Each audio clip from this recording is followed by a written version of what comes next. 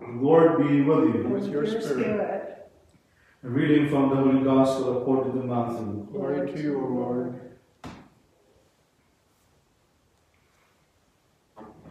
Jesus told his disciples this parable.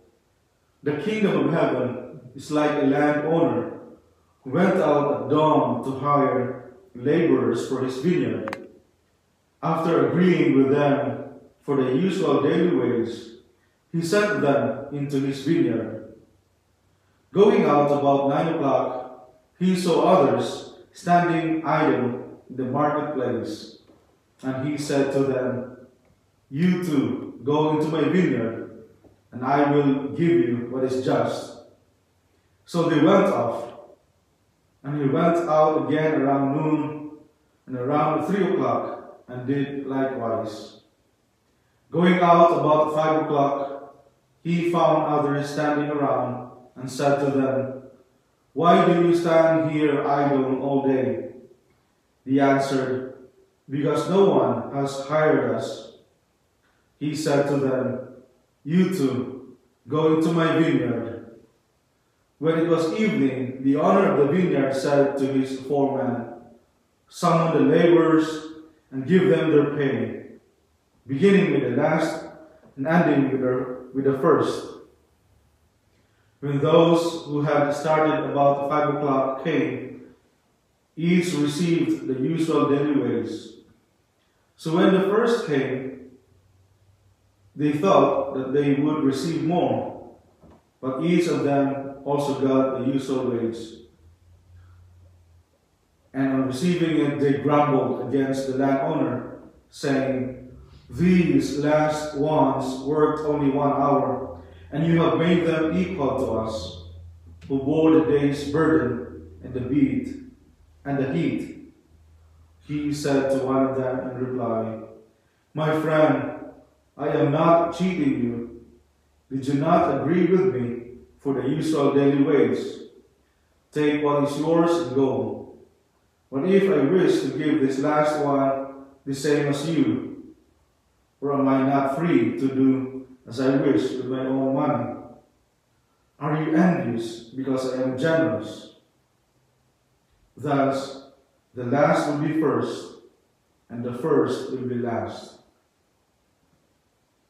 The Gospel of the Lord. Praise to you, Lord Jesus Christ. Good morning. Good morning, Lord Father. Father, We have been busy preparing things.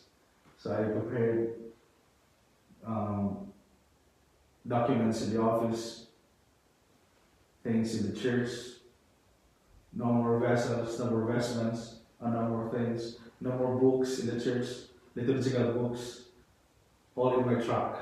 okay, So, and important documents in the office, sacramental records, all in my truck, ready to leave. I realized in the afternoon yesterday, oh, there's one thing I need to secure the Blessed Sacrament in Hayfork.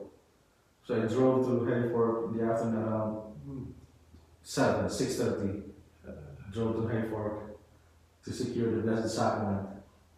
So, because the fire this morning in Hayfork is just around a mile away, a mile from the town. So, we pray for these fires. We pray for sudden rain, strong rain, just like the last time. Today we reflect on, we have been hearing this gospel, gospel very familiar to us, the parable of the landowner. But we reflect on this one, that God's generosity to us. God's generosity, he said, Are you envious because I am generous? He said to this man who grumbled, one of the first ones to, to work in the vineyard. Are you envious because I am generous? The Lord's generosity is always there to all of us. But here in the middle part of the gospel, he said, Why do you stand here all day? Meaning, while this landowner went at 9 o'clock, went at noon, when at 3 o'clock, he noticed them. But he, he, he invited few, a few, a few, a few. But there's still one group, one, few people, until 5 o'clock standing there. And he said, Why do you stand here all day? So God's generosity it depends also, God's generosity depends also on our doing something, our participation. Because if we just sit down and do nothing, then God's generosity will not be effective. Like, the fire is coming. Oh, God is generous. I will just stay here in Weaverville. God is generous. Then the calamities or tragedies happen because of something like that, doing nothing. So God's blessings also needs our need our participation, our doing something, not just idle. Amen. Amen.